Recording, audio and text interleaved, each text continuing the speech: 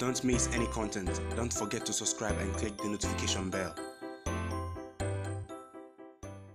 Hey guys, welcome back uh, to Sahara Football. As usual, I am your host Selassie Fiawoyi. So we all know the Ghana under 17 side tomorrow. Uh, the tournament begins. That is exactly the WAFU.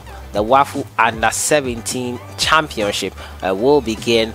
Zone B uh, will begin tomorrow from the 5th of January to the 18th of January. Now, the Ghana Black Starlets uh, will be taking part in that competition along with six other nations, and it will be great to see who emerges triumphant once again. Now, this will be a qualifier uh, for the Under 17 African Cup of Nations, which will take place later this year in July. So the Ghana Black Starlets, uh, that's the under 70 side, have started preparations in earnest. I'll be giving you a brief on what they have done so far, the games they have played, reactions of coach of the side to uh, the draw that was held last year, and Ghana's chances and group opponents. Subscribe if you haven't, click on the notification bell to get more updates. So, as was done last month, the WAFU Zone B Championship uh, was supposed to be played in November, but unfortunately, it could not take place. COVID brought uh, the need uh, for the games to be shifted, and the Ghana Black Starlets and the Ghana Black Satellites had to reschedule their fixtures. Now, owing to that, the Starlets tournament, which is the under 17 WAFU Zone B competition, which is a qualifier for the under 17 AFCON, uh, will have to play this month instead of them playing last month or in November. Now, coach of the side, Ben Foucault, reacted uh, to the draw after Ghana were placed in Group B along with Nigeria and Cote d'Ivoire. Uh, Nigeria and Cote d'Ivoire was the same group that the under 20 side were placed in for the under 20 AFCON. So I think the same format was used in this one. In Group A are the hosts uh, Togo.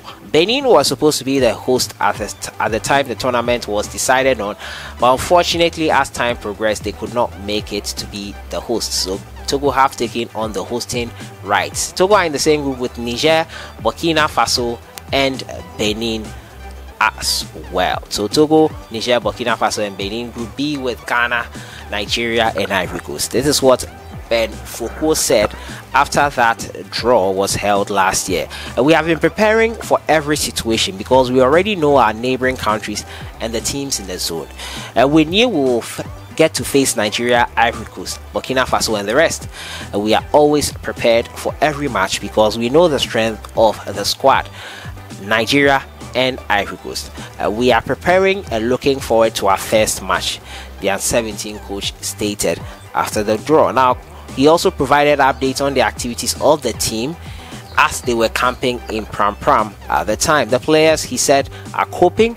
Uh, we all know with the youth side, they get to learn a lot of new things when they are in the national team camp. So, since we resumed camp, we've ensured that we did the same through various sessions uh, to improve their fitness. Over the weekend, the team took place in a friendly uh, with Niger, and uh, that prepared them, I'm sure, for the games ahead this week. Um, Ghana will be placing Nigeria. So tomorrow the games begin. Togo will kick us off with their game against Burkina Faso. They are the hosts. Tomorrow we'll be bringing you updates as and when uh, we get them. So the Black Starlets under 17 side preparing to take part in the WAFU Zone B under 17 competition.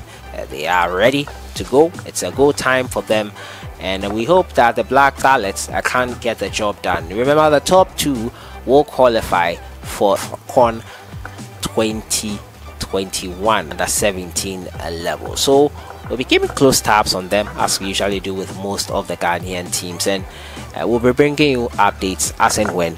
Uh, we get them. Uh, the Ghana under 17 side over the weekend, as I said, I play with Niger, and it was great to see all of them in action, getting a good run out on that front. The GFA are in full support of these boys, and before they depart uh, for Togo, uh, we'll be sure that they can do an amazing job.